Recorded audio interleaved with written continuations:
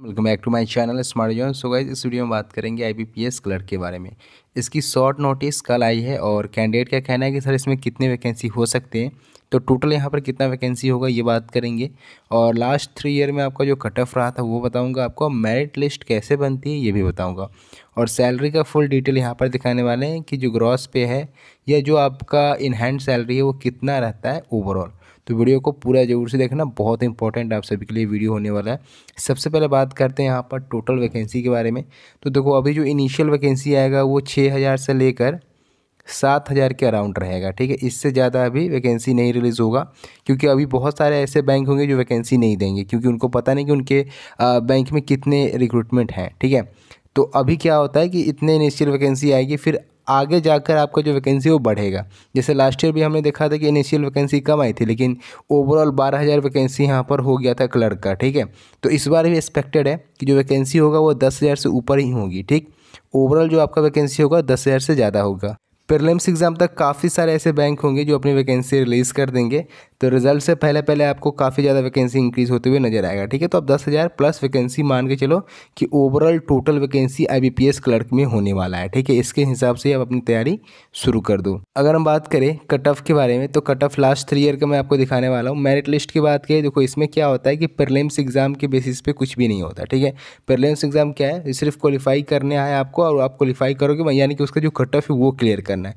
वो cut off clear करती है, आप मेन एग्जामिनेशन में जाओगे और मेन एग्जामिनेशन का जो नंबर होगा, वही आपका फाइनल मेरिट लिस्ट में ऐड होगा, ठीक है? यानी कि प्रीलिम्स एग्ज़ाम का जो नंबर है, वो मेरिट लिस्ट में ऐड नहीं होता है।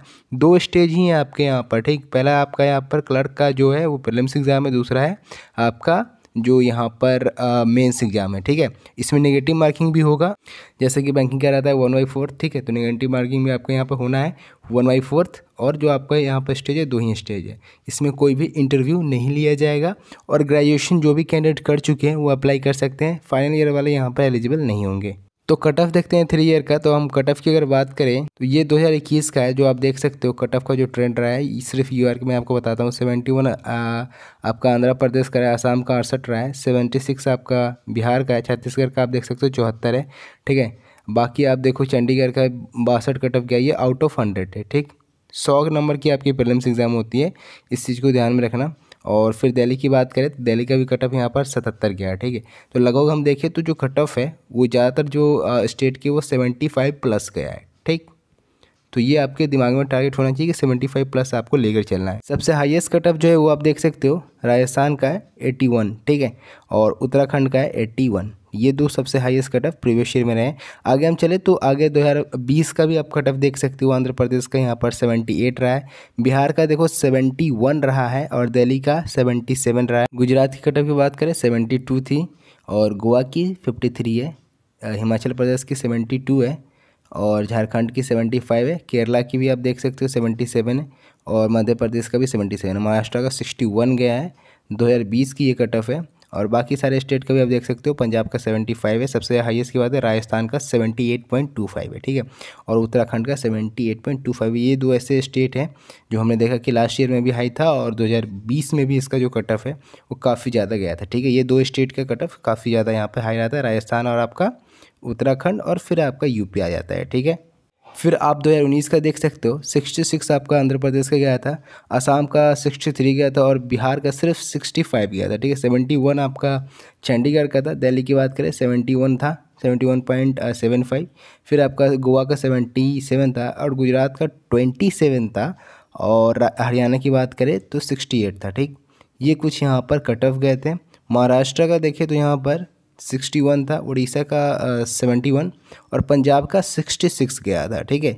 उत्तराखंड की बात करें तो यहाँ पर भी हाई था, सेवेंटी सिक्स यहाँ पर भी इसकी कट ऑफ़ हमें देखने को मिला था, ठीक? तो ये कुछ यहाँ पर लास्ट थ्री ईयर का कट ऑफ़ है, जिससे कि आपको अंदाज़ा लग गया होगा कि जो आपका कट ऑफ़ है वो क्या रहता है। आगे हम बात करें सैलरी के बारे में इसके। ये आप सैलरी डिटेल्स देख सकते हो बेसिक पे जो इसका होता है वो उन्नीस हज़ार नौ सौ होता है, ठीक? और जो आपका यहाँ पर बाकी सारे अलाउंस होते हैं, जैसे कि डीएनएस अलाउंस हो गया, वो पैंसठ सौ मिल जाता है, ठीक है?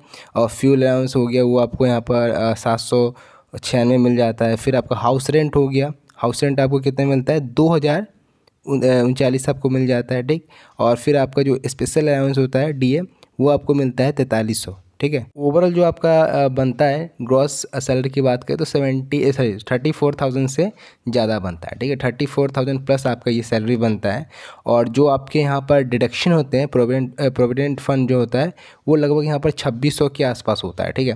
तो जो आपका इनहैंड सैलरी बनेगा ओवरऑल मैं बता रहा हूँ यहाँ पर डिडक्शन ऐड करके, वो आपका इकतीस हज़ार सात सौ सतासी बनेगा, ठीक है?